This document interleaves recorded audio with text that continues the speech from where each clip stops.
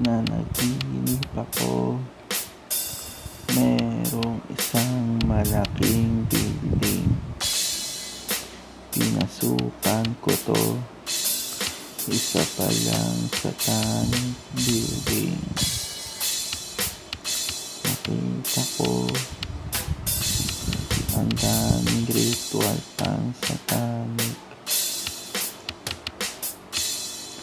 Let's face it into reality keep my lifetime forever.